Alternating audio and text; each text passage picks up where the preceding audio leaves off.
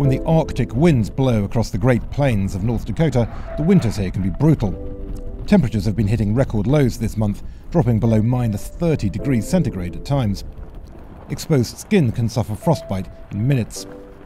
But at the borders of the Standing Rock Sioux tribal reservation in the south of the state, thousands of people are still hunkering down in the camp to protest against the Dakota Access oil pipeline. The protesters are Native Americans from across the US and environmental campaigners from around the world. They say the $3.8 billion project creates an unacceptable risk of a spill into the waters used by the Standing Rock tribe. Many protesters were unprepared for these brutal conditions, and quite a few have already left. You can see the little flimsy tents they left behind. A couple were treated for hypothermia, but others are settling in for the long haul. Groups of volunteers, including US military veterans, have been putting up wooden huts, collecting donations of blankets and coats, and laying in firewood. Earlier this month, they had some good news. The US Army Corps of Engineers denied a crucial permit, known as an easement, needed to complete the pipeline. When you could bring people together to unite as one, when it could be indigenous people, I've seen people, Aztec people, dancing and tradition, and the recognition from throughout, you come from far land too. So that is, in itself is a success. The chairman of the Standing Rock tribe, who earlier in the year called people to come here to fight the pipeline, now says they should return home to escape the harsh conditions. But the protesters do not believe their fight is over. It's no problem to me. I mean, I was born in, I was born and raised in a log house, you know, with just a wood stove.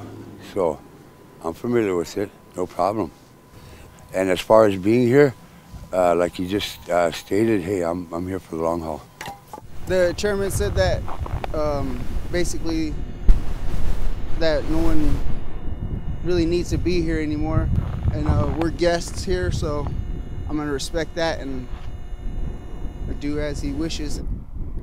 You can't actually get up to the route of the pipeline because the road's been blocked with concrete and barbed wire, but it runs behind that ridge over there and just over there where the lights are behind me.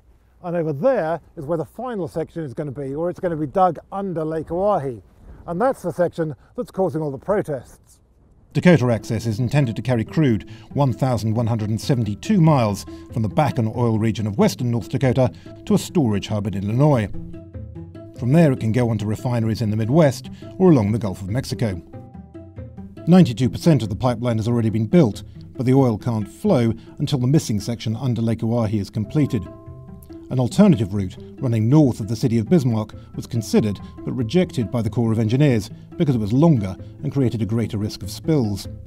To the Standing Rock tribe and its supporters, it looks like a familiar story of the US ignoring the interests of Native Americans when there's a profit to be made. The opponents of Dakota Access call themselves water protectors, and this is the water they want to protect the man made Lake Oahe on the Missouri River, which provides some of the water for the Standing Rock Reservation. The tribe says it doesn't want to stop the pipeline altogether. The Sioux just don't see why they should be forced to bear the risk of a spill.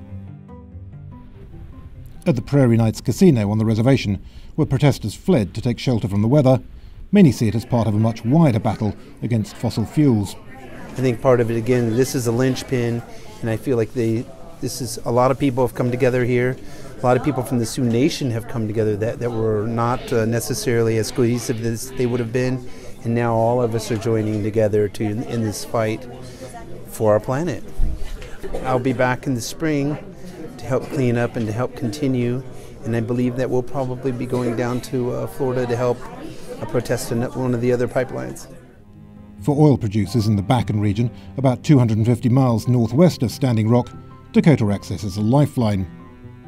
The pipeline will be a much cheaper option than the alternative used today, sending the oil by rail.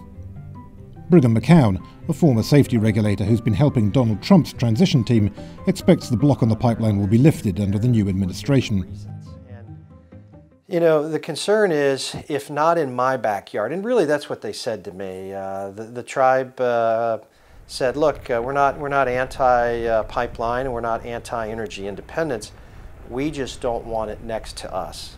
And of course, if everybody had that sort of mentality, we wouldn't be able to build a road, a bridge, or a prison, or, or you name an airport, you name whatever it is. So You know, I, I, think the Army Corps got this right when they went through the permit the first time around because other routes were rejected. And this one came up because it had the least impact on the fewest number of people.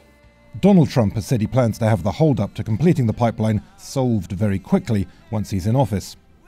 If his administration does grant the permit that Dakota Access needs, the protesters acknowledge their options are limited. Their past attempts to get closer to the route of the pipeline have been beaten back with tear gas and fire hoses. A spill that tipped about 3,000 barrels of oil into a creek over the west of North Dakota has strengthened the protesters' resolve. When Mr. Trump does try to get construction underway again, he'll face legal challenges. And even if those ultimately fail, there are many thousands who are glad they've come here to raise the profile of their cause.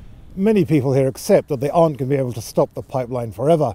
There's too much money at stake, and with the full authority of the federal government behind it, Dakota Access probably will be able to sink that last section under Lake Oahe. The protesters, though, say that's not entirely the point.